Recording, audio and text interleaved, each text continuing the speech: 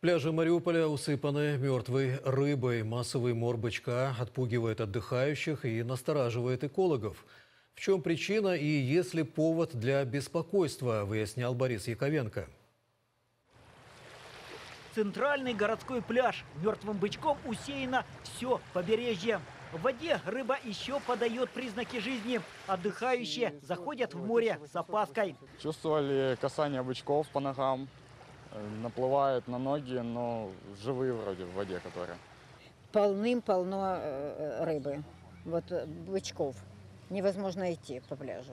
Настораживает и смущает, и для самих себя неприятно это все, и жалко, и вопросы, от чего это, почему это случилось. Массовый мор рыбы начался накануне. Сегодня с самого утра мертвых бычков с побережья убирают коммунальные службы. Вчера вот это он уже подступал, а сегодня уже вот он выплыл. Завтра опять будет.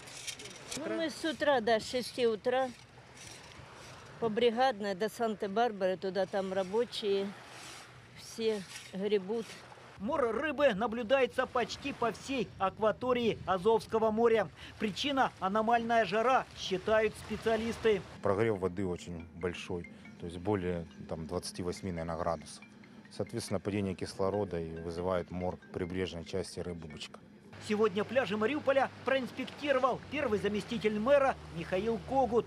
Чтобы быстрее ликвидировать последствия, в горсовете создали специальную комиссию. Мор бычка наблюдается в Азовском море каждый год. Предприимчивые горожане стремятся заработать, собирают мертвую рыбу для продажи. Поэтому в этот период специалисты бычков покупать не советуют. Борис Яковенко, Сергей Чакрыгин, телеканал «Донбасс».